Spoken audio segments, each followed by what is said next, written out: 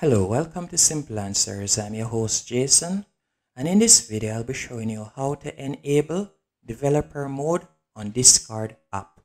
First, let's go into the app. Once you're in the app, you're going to tap on the circle in the bottom right hand corner, right where your profile photo is. Once you have done that, you're going to scroll all the way down and you want to select behavior from there, you'll see developer mode. At the moment, you can see mine is turned off. Now to turn on developer mode on Discord, you'll simply tap on it.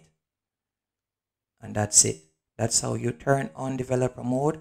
As you can see, developer mode exposes context, menu items, helpful for people writing bots using the Discord API.